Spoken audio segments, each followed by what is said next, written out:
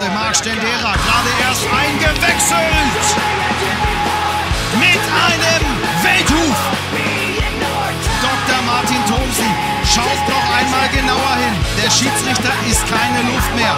Den Unparteiischen bleibt nichts anderes übrig, als dieses Traumtor zurückzunehmen.